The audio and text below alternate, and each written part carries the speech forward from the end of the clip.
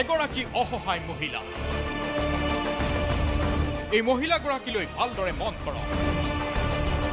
কিছু সময়ৰ পাছত এই আহোম মহিলাগৰাকী আক্ৰমণৰ সন্মুখীন হ'ব। আক্ৰমণৰ সন্মুখীন হ'ব টাই আহোম ছাত্ৰ সন্থাৰ এইসকল প্ৰতিনিধিৰ কোনোবা এজনৰ দ্বাৰা। এই সাহসী আহোম মহিলাগৰাকীক মন কৰক।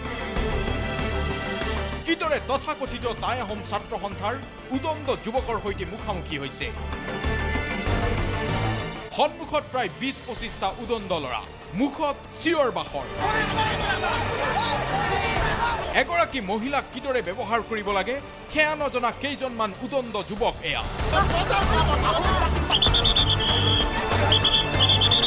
এওঁলোক টাই আহোম ছাত্ৰ সন্থাৰ প্ৰতিনিধি। নিউজ লাইভৰ এডিটৰ ইন চিফ অতনু ভূঞাৰ নামত কোনোবাই ভুৱা একাউণ্ট এটা খুলি আহোম যুৱতীক কুমন্তব্য কৰাৰ প্ৰতিবাদত আন্দোলন কৰা টাই আহোম ছাত্ৰ সন্থাৰ সদস্য এওঁলোক। আপোনালোকক দেখুৱাম কিদৰে সভ্যতা নজনা টাই আহোম ছাত্ৰ সন্থাৰ এই সদস্যসকলে আক্ৰমণ কৰিব এইগৰাকী আহোম মহিলা। আপুনি ধিক্কাৰ দিব এওঁলোকক। এয়াই নেকি প্ৰতিবাদৰ ভাষা? ৰ'ব তাৰ আগতে মহিলাগৰাকীৰ পৰিচয় দিওঁ। টাই আহোমসকলৰ প্ৰভাৱশালী ব্যক্তি ডক্টৰ প্ৰবীণ ৰাজকোঁৱৰৰ পত্নীয়েকে ডক্টৰ ৰাজকোঁৱৰে ফেচবুক প্ৰসংগত চকু মুদি টাই আহোম ছাত্ৰ সন্থাক সমৰ্থন নিদিয়া বাবেই শূন্য হৈ পৰিছে তথাকথিত এইসকল ছাত্ৰ প্ৰতিনিধি। শুকুৰবাৰে নিউজ লাইভক ৰাজকোঁৱৰে কি কৈছিল? এইবাৰ দেখুৱাব ওলাইছো অসম্পাদিত ৰূপত।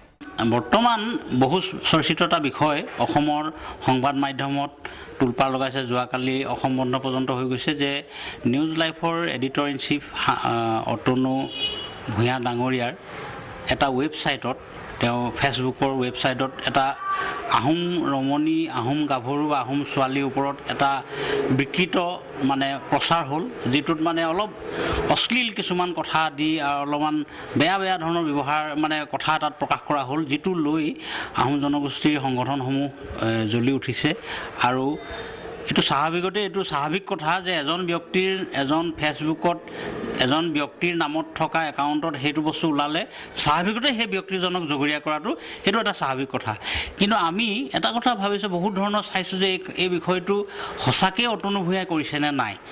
আৰু তেওঁ ইতিমধ্যে আমি গম পাইছোঁ পৰৱৰ্তী সময়ত আমি গম পাইছোঁ তেওঁ অস্বীকাৰ কৰিছে যে কৈছে যে নহয় তেওঁৰ নামত ভুৱা একাউণ্ট খুলি কৰা হৈছে। আৰু এইটো আমি একেবাৰে সেই তেখেতৰ কথাটো আমি অবিশ্বাস নকৰা নহয় কাৰণ সংবাদ মাধ্যমৰ এজন মুধা ফুটা ব্যক্তি হিচাপে আৰু অসমৰ একমাত্ৰ আঞ্চলিক আমাৰ এই অঞ্চলৰ ৰাইজৰ হাৰে সমজুৱে লগত থকা যিটো চেনেলৰ লগত জড়িত অতনু ভূঞা ডাঙৰীয়াই যে অসমত ছশ বছৰ ৰাজত্ব কৰা সৰ্ববৃহৎ জনগোষ্ঠী আহোমৰ ওপৰত যে এনেকুৱা মন্তব্য কৰিব সেইটো আমিও ভবা নাই।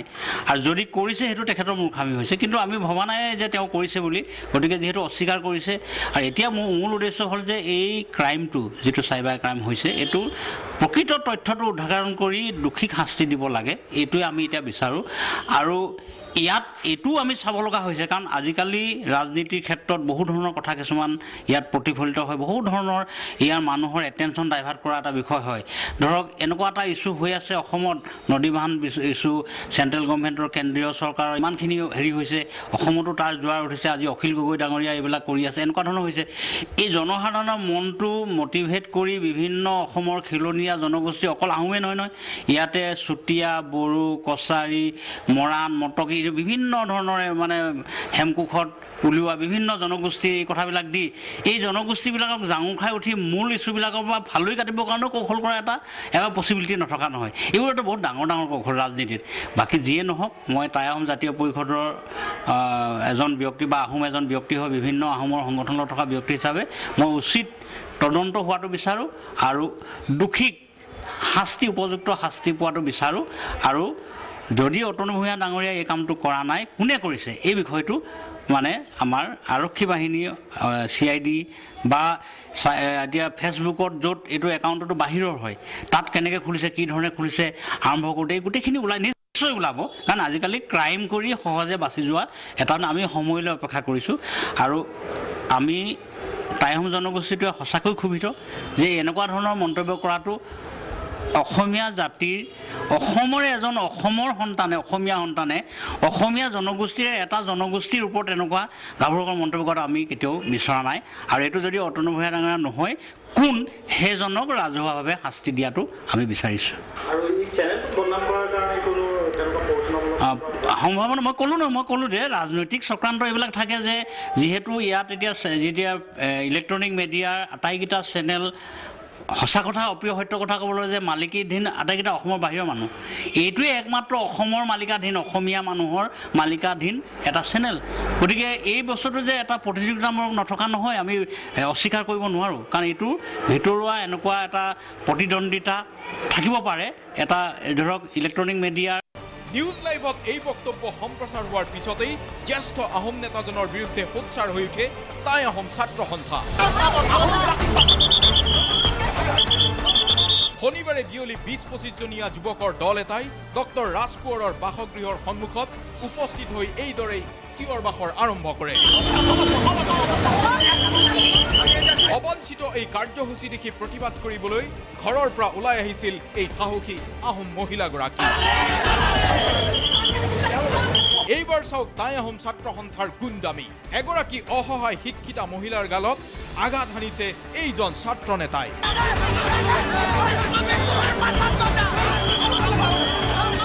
এই নেতাজনক চিনক। এগৰাকী অসহায় আহোম মহিলাক আক্ৰমণ কৰিবলৈ সাহস গোটাইছে এওঁ। এয়াই নেকি টাই আহোম ছাত্ৰ সন্থাৰ প্ৰকৃত পৰিচয়? মহিলাক কেনেকৈ সন্মান কৰিব লাগে সেয়া নাজানে নেকি টাই আহোম ছাত্ৰ সন্থাই ফেচবুকৰ এটা ভুৱা একাউণ্টৰ পৰা অচিনাক্ত প্ৰকৃত নে ভুৱা প্ৰতিপন্ন নোহোৱা কোনো যুৱতীক কুমন্তব্য কৰাৰ বাবেই প্ৰতিবাদ কৰা টাই আহোম ছাত্ৰ সন্থাই নিজেই আক্ৰমণ কৰে এগৰাকী আহোম মহিলাক ভালকৈ চাওক এই অসহায় মহিলাগৰাকীক।